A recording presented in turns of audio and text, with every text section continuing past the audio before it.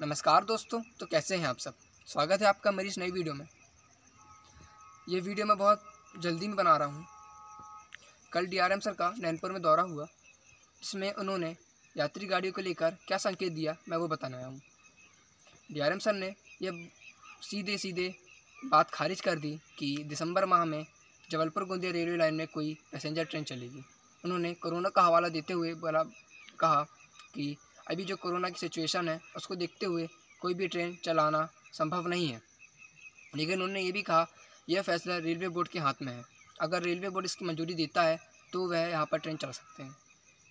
और वहीं पर मैंने एक पेपर कटिंग पढ़ी, जिसमें 20 दिसंबर के बाद यहाँ पर एक्सप्रेस ट्रेन चलाए जाने का दावा किया जा रहा है। और उसमें ये लिखा है कि इस रेल रूट पर, इस दिसंबर में कोई भी मेमो ट्रेन चलाने की योजना नहीं है।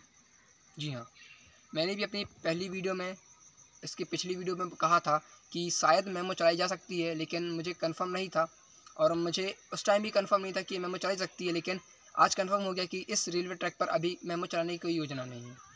तो और उन्होंने ये भी कहा कि जो चेरी डोंगरी में डोलोमाइट का सेट बन रहा है, गुड सेट, और वहाँ पर कुछ फ़ूड ग्रेन्स के भी सेट बन रहा है, अगर वहाँ पर उन्हें कुछ फ़ायदा नहीं होता तो उसे भी डी नोटिफाई कर दिया जाएगा। जी हाँ।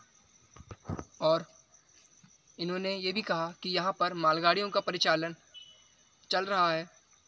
उन्होंने बोला, जब तक यहाँ पर पैसेंजर ट्रेन नहीं चलेंगी, तब तक मालगाड़ियों का परिचालन बिना रुके, बिना रुकावट चलता रहेगा। तो आपको कैसी लगी मेरी वीडियो? ज़रूर से लाइक कर दीजिए कमेंट करके बताएँ और शेयर करना ना भूलें। सब्सक्राइब कर लीजिए अगर मेरे चैनल पर नए हैं। धन्यवाद।